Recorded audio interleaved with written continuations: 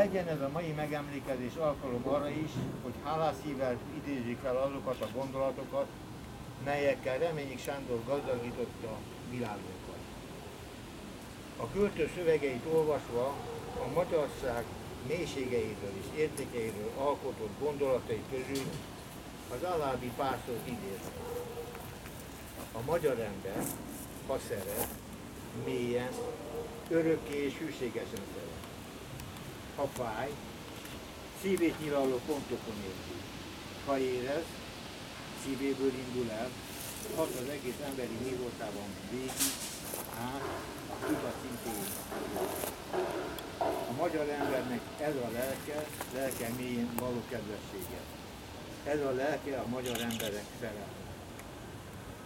Reményik Sándor gondolatai mélységes tiszteletet és hűséget fejeznek ki a magyarság iránt, emlékeztetve bennünket arra, hogy a magyar szív mély érzéseivel és szeretetével hozzájárulunk a kultúra gazdagításához és az emberiesség megőrzéséhez.